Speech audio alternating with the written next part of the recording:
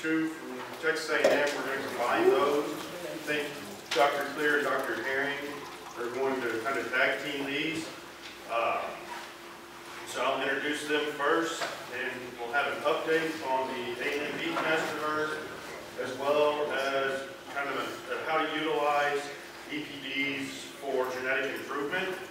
And our two speakers are Dr. Jason Cleere uh, from Texas A&M. Uh, Dr. Cleere is an associate professor and Texas AgriLife Extension beef cattle specialist stationed in College Station, where he develops and implements educational programs. Uh, One of those y'all might have heard of before is the Texas A&M University Beef Cattle Short Course. Um, He's a faculty member of the beef cattle section in the Department of Animal Science.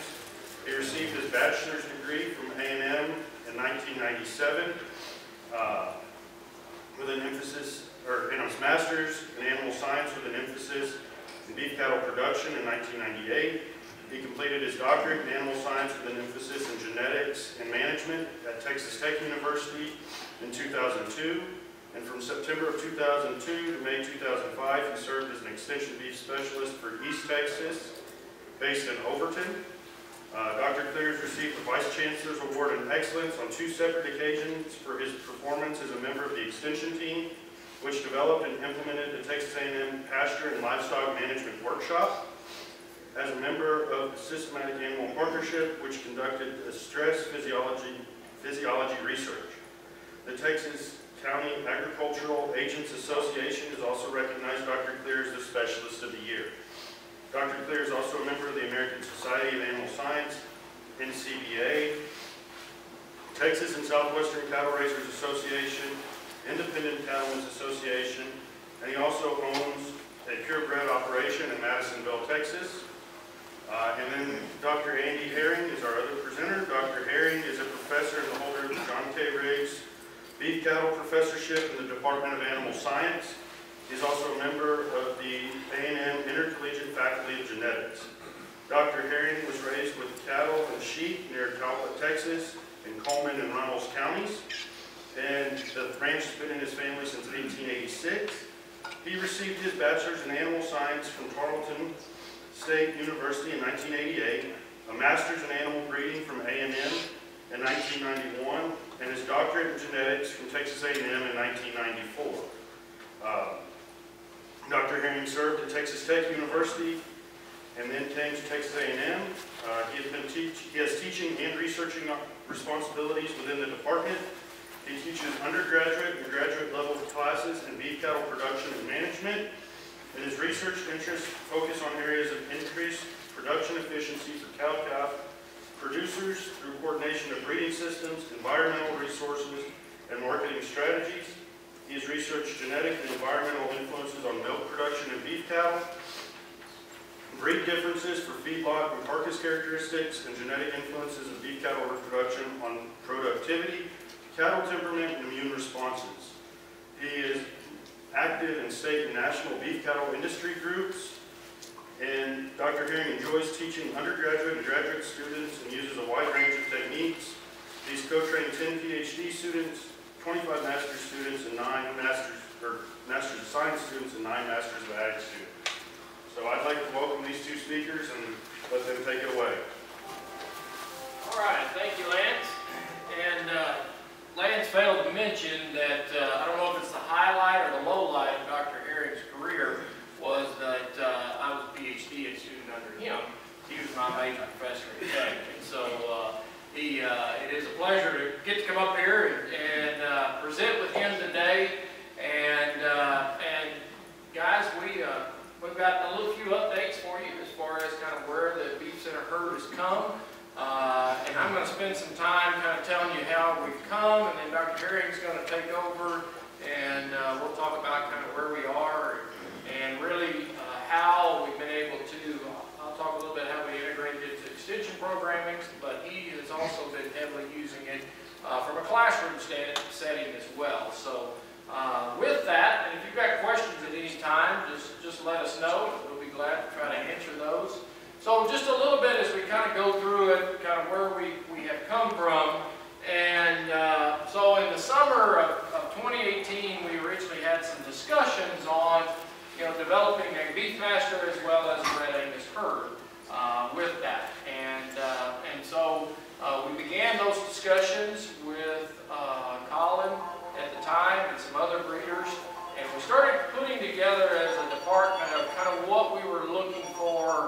far as what would our goals be uh, for that particular program.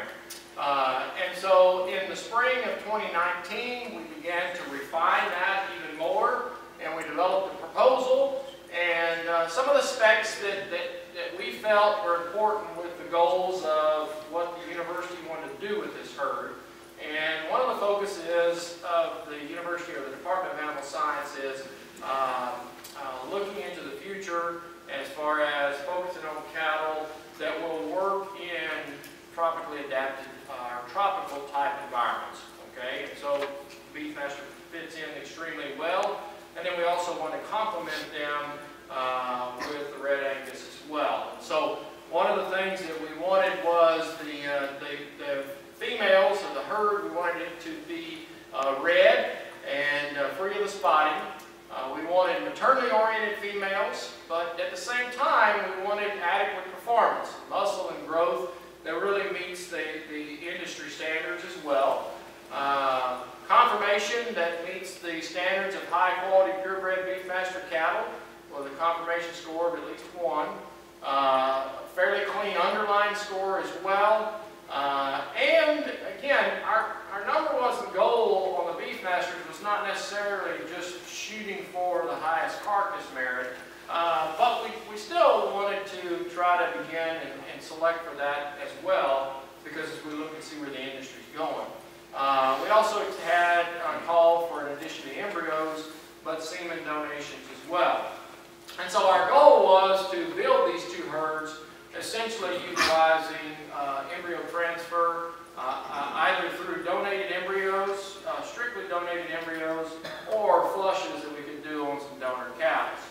Uh, however, we were extremely pleased when the Beefmaster breeders came to us and said, and Colin said, well, we want to do things a little bit faster and bigger on the Beefmaster side, and uh, we really want to outdo the Red Angus guys. And uh, I don't, he didn't really say that, but uh, I, I, knew where he was coming from. But, uh, but they said, we're going to round up and we're seeking nominations for live yearling females. That way we can hit the ground rolling uh, with that. And so uh, September of 2019, we actually had the first female delivered. The Emmons family delivered that female. And then, if you remember, uh, two years ago, it seems like decades ago with COVID and stuff, uh, during the convention, uh, we took delivery uh, six more yearling heifers. during that convention side, that's this group right here with that. Uh, and then again, as we move forward, uh, we had additional five females that were delivered from Collier. There was a couple more in there as well. And then uh, in May of 2020, Colin and I and, and my younger son, uh, we went on a, a, COVID mission to South Texas. Uh, uh, Dr. I wasn't supposed to be doing this, but we were supposed to be staying at home. But we had Beefmaster females that needed to come back to Texas A&M. So Colin and myself my younger boy, we went down to South Texas and we picked up three more additional females from three different ranches down there as well uh, with that. And so we ended up with uh, a total, I think, of 18 uh, females. Uh, that kind of started the, the beginning of the live animals uh, with that herd. Uh, in the fall of 2019 in spring, we did get some additional donations of embryos, uh, as well as some opportunities to, to do some conventional flushes and some IVFs. Um, the neat thing about this whole program uh, of having these cattle in the purebred operation is, one, we've got things to show at A&M, what we're doing, and, and also highlight what the Beefmaster breed is doing as well. But one of the neat things, and Dr. Herring will share this with you, uh, is the opportunity to teach our students. And so Dr. Ky Pohler is a reproductive physiologist uh, with us, and he's been on board uh, almost three years now. And Dr. Pohler uh, is, does our conventional flushing with the help of his students, his graduate students, and we do to have some undergraduate students involved as well. And so they really get a lot of hands-on experience uh, outside of the classroom uh, with these animals, uh, with that. Uh, the spring of 2020, we had some of the first transfers and bred the donated heifers. Those donated heifers were artificially inseminated, uh, Catanese bull, and then we also cleaned them up with a bull that was donated by the Missy family as well, a low birth weight uh, Catanese bull too. So we had those first transfers and bred them in the spring. So once you get, as you know, as breeders, as you breed cattle and, and plant the seed, you're looking forward to what's going to hit the ground. Well, and it, we did look for it in late winter and spring of 2021, and we had our first calf, this one here, and it was about three weeks early, and I don't remember, Andy, how much did that thing weigh? Not, not much. Uh, 35 pounds. So we got the low birth weight deal, but it was a little early. It needed to bake a little longer. But uh, it was born and, and, and okay. Uh, but then, about the time we started getting others out, uh, was in February, around February 14, uh, when uh, things froze over, literally. And, uh, and so we were trying to calve out cows then. This is one of the calves uh, that was born, and uh, I don't remember what those, those they named that calf, but uh, it was born when it was near zero, and concurrently, I think the beef center was flooding at the time because of broken pipes. Uh, but uh, these two students here calf, and and it literally on the thermometer had a temperature that did not read. I mean, it, it probably shouldn't have been dead. But they warmed it up with these heat blankets and lamps and made it survive um, with that. So out of that, um, I don't think, no, I don't remember if we lost any calves. We lost one of those original females that were donated, uh, calved. Everything was okay as she slept. We think broke her back, so we had to euthanize her. Uh, we also lost one of those heifers uh, in a freak accident about a year ago. Um, the beef center was built in 1992-ish, and we've had the same water trough since then, and somehow this female got her head stuck under a bar and uh, literally drowned in just a few inches of water there. And so, uh, you know, I kind of a big deal with that. Uh, but, uh, you know, we, we're continuing to move on with the program. Uh, we just we recently weaned uh, those calves, and Dr. Herring's going to talk to you a little bit about those things uh, with that. Just some of the things that we get to do with them, um, you know, the management practices, it's all about training the uh, and utilizing them as a tool, whether it be dehorning, whether it be deworming, taking weights, all of those things. Uh, Dr. Herring's going to talk to you a little bit about, about those kind of things. So that's kind of where we've